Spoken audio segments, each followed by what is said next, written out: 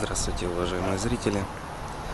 Сегодня я хотел бы вам рассказать о замечательном отеле Orca Sun Life Resort Spa.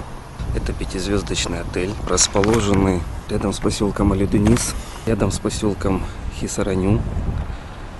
Это у нас э, место, где соединяются Средиземное и Эгейское моря. Вот вы можете видеть сам отель. Пойдемте потихонечку. Я буду идти и рассказывать вам. Отель, друзья, э, расположен на фоне э, живописных гор. Вот вы можете это все видеть. Окутан хвойными лесами. Отель построен э, недавно. Отель 2012 года постройки. Вся инфраструктура, соответственно, новая. Изюминкой отеля, друзья, является панорамный вид на бухту Бельджигис, Леденистскую бухту. Невероятно красивые виды. Сам отель получается, если можно так сказать, прямо вырублен в горах.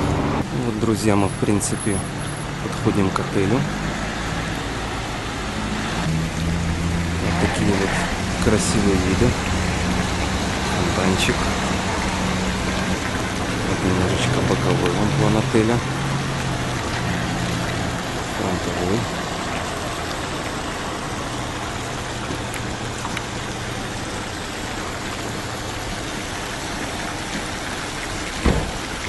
Вот видите, как все это интересно монтируется в горы. Это вот соседние отели. Тут несколько идет. Сортир отель. А, есть такой отель знаменитый здесь Николас Парк. Четырехзвездочный отель. Ну вот, друзья, непосредственно в отель. Вот он, Орка Sun Life Resort and Spa.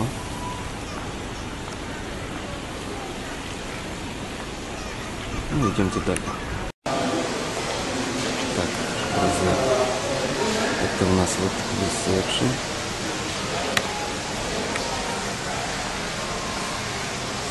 Друзья, это у нас получается лобби-бар. Называется Galaxy Lobby Bar.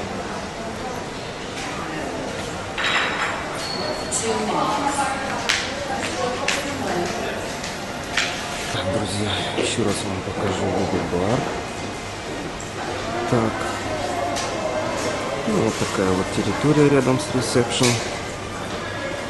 Покажу вам территорию. Собственно, еще раз ресепшн. Друзья, вот такая плазма есть рядом с лобби-баром, где вы можете присесть, отдохнуть, попить чайку, кофейку, что-нибудь спиртное. Вот тут есть магазинчики. Вот. Что-то можно приобрести.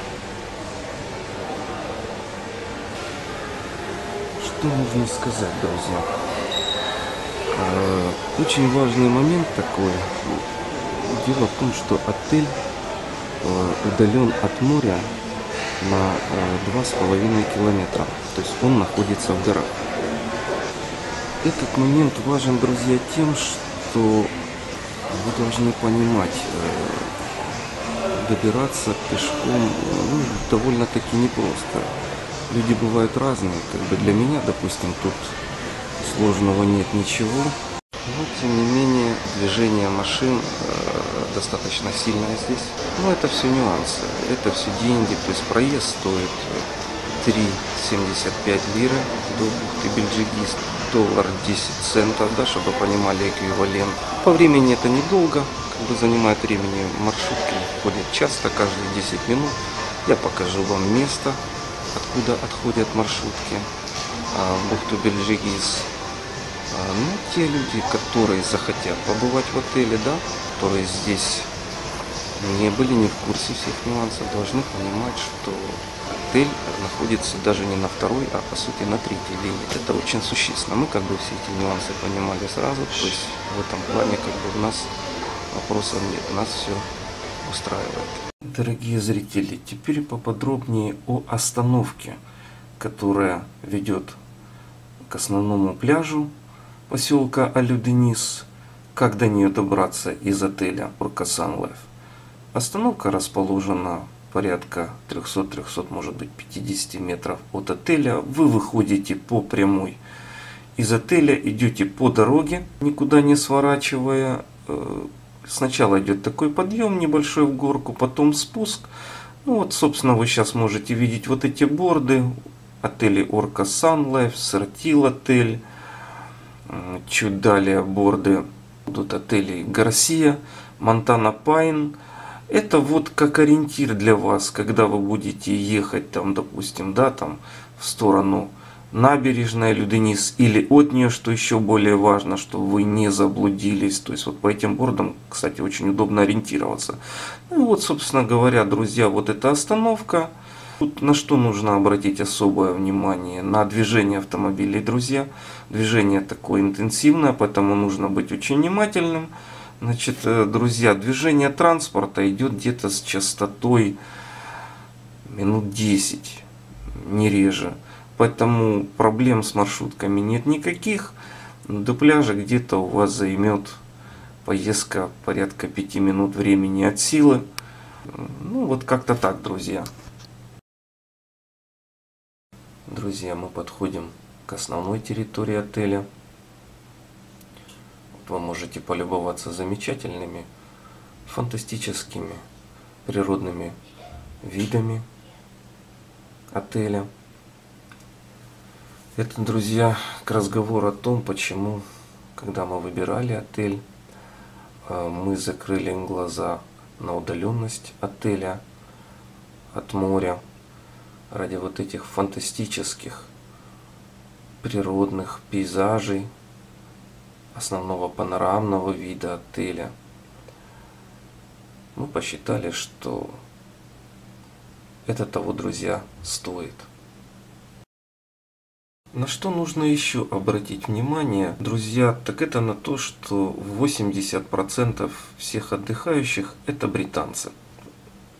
В основном вся деятельность персонала отеля, начиная от ресепшена и заканчивая горничными, ориентирована на англоязычную публику.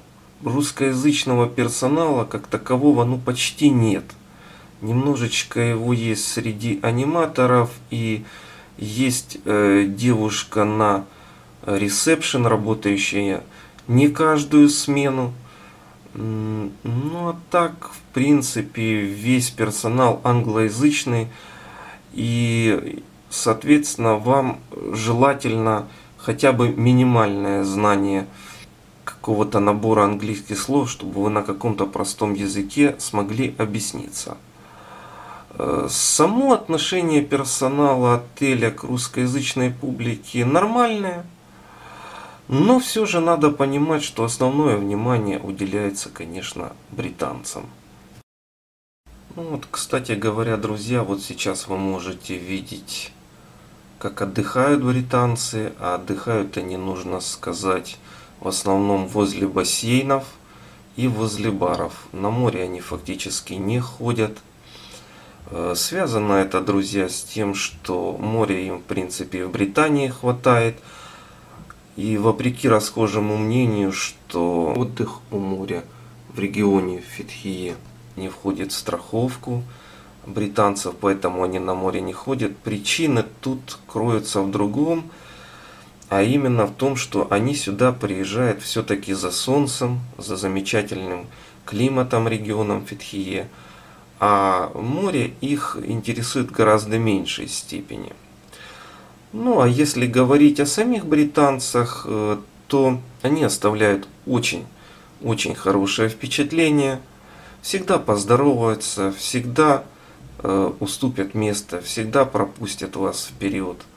Но надо понимать, друзья, что, допустим, если вы кушаете в ресторане, да, отеля, то деятельность, допустим, официантов ориентирована в первую очередь на обслуживание британской публики. То есть даже чаевые тут не решат вопрос.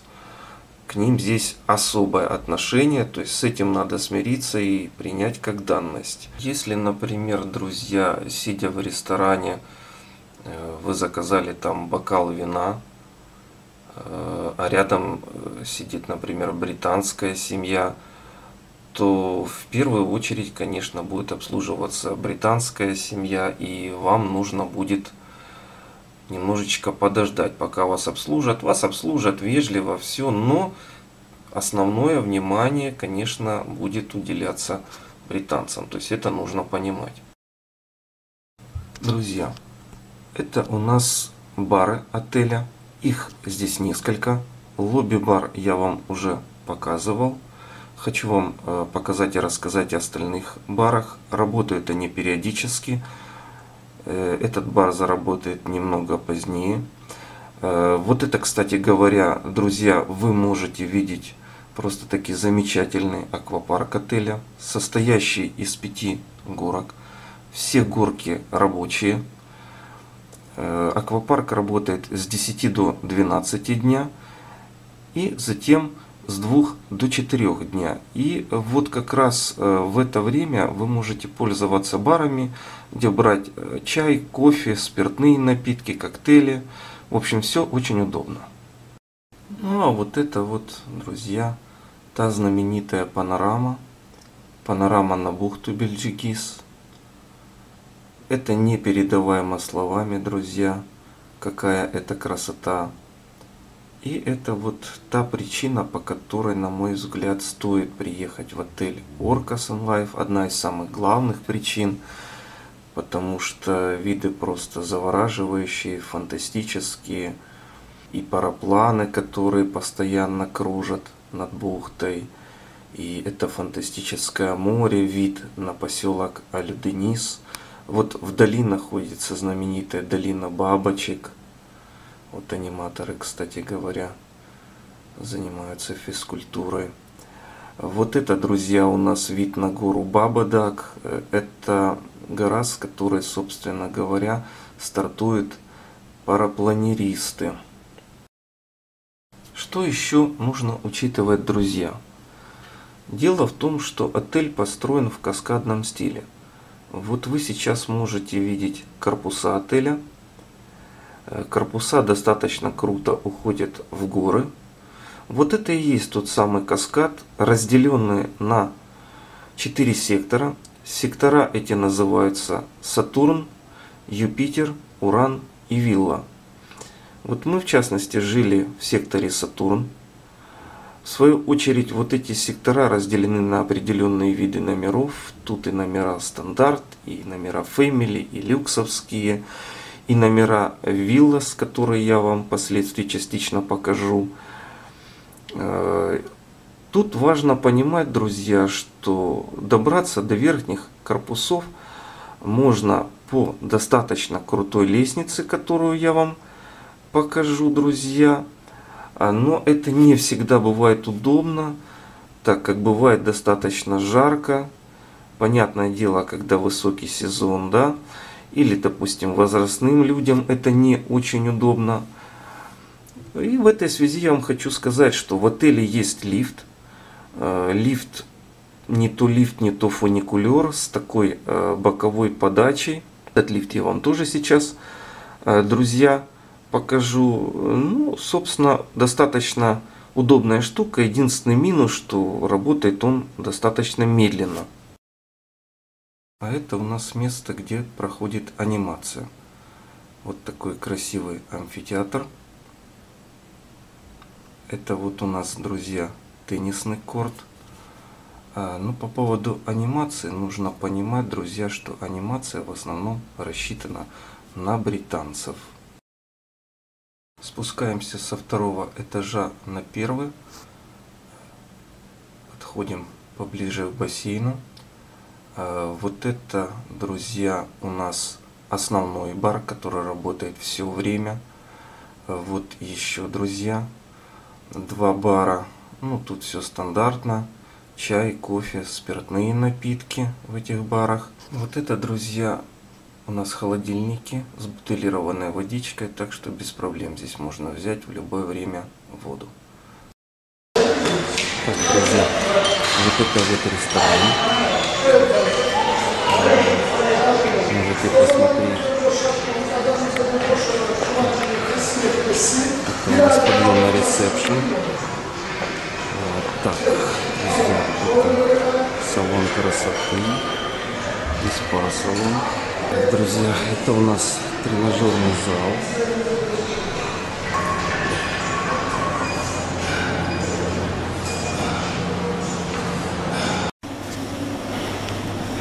Так, друзья, это у нас тренажерный зал, да? Как он тут называется? Фитнес-центр отеля Орка Sunlight Resort. Такие тренажерчики тут. Беговые дорожки. И все, все, все прочее. Единственное, что достаточно странно, что здесь нет турника и боксов. Надо вот такой фитнес-центр. Ну, есть гантельки. Так что вот друзья. Форму есть где поддержать. Ярик, помашите ручкой.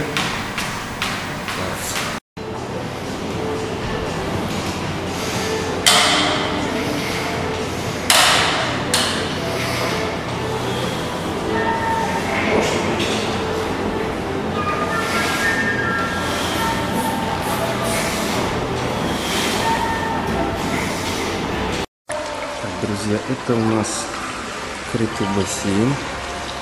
а, И спа-салон. А вот это у нас немножечко развлечений. Теннис настольный и настольный футбол. Друзья, это у нас детский клуб, детский бассейник. Что кто с детками, вот замечательное место для отдыха. Еще вам немножечко панорамы на отель.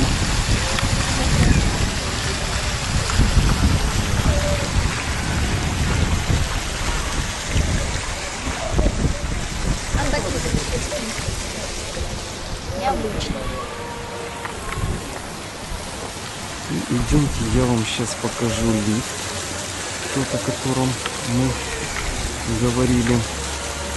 Вот такая вот, друзья, чудо-лестница ведет в номера. Вот, так что многим будет удобнее, наверное, пользоваться вот этим вот чудо-лифтом. И, кстати, многие промо-рум номера, да, без определенного вида, с видом на вот эту лестницу. Это все тоже, друзья, надо учитывать. Друзья, те сектора, о которых я вам говорил, вот один из них Юпитер. Вот, вот так это все выглядит. Вот покажу вам проходы к лифтам, к номерам. У нас получается сектор Сатурн. Такие вот лифты здесь. Вот, вот так, друзья, выглядят лифты уже в самом отеле, внутри. Так, наш этаж. Так, друзья, ну, вот так выглядят корпуса изнутри. Вот можете посмотреть вот такие лестнички. Вот. Ну и вот сами корпуса. Вот такая вот красота.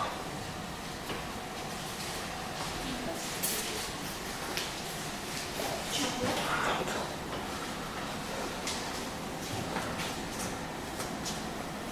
Вот такие вот, друзья, корпуса и номера. Ну Вот, друзья, собственно, тот лифт, о котором я вам рассказывал. Что-то среднее между лифтом и фуникулером, честно говоря, впервые с таким сталкиваюсь. Боковая такая подача лифта идет. А вот, ну, сейчас немножечко с вами прокатимся, еще немножечко панорамы для вас. Заходим, друзья. Да, едем, друзья, на самый верх. У нас получается что-то около, наверное, пяти этажей, да? что-то такое. Ну. Вот. Вот такой вот, друзья, лифт. Очень любопытный. Я много читал в интернете, что лифт типа как часто ломается или вообще не работает. Ну, друзья, в принципе, все работает. На удивление, ни разу еще ничего не ломалось. Мы тут уже шестой день из 11 дней пребывания, да. Ну, пока за 6 дней, слава Богу. Ну и вот вам, друзья, еще немножечко панорамы из этого шикарного просто-таки отеля. Замечательным панорамным видом. Ну Вот, друзья, вот такие вот вид открывается с этого замечательного фуникулерчика на все сектора. Едем где-то со скоростью обычно один человек. Да, лифт, конечно, не быстро, тут это надо признать. Да. То есть и ждать его как бы надо, и вот именно едет не быстро. Но с другой стороны, все же для многих людей лучше, чем ногами, потому что туда-сюда по всем этим горам, ну, в общем, сами понимаете. Ну, вот такая альтернатива вам, друзья. Вот, друзья, в принципе, финал это где-то пятый, получается, шестой этаж этого каскада. Сейчас покажем вам пейзажи вокруг. Давайте вам еще немножечко панорамы. Вот.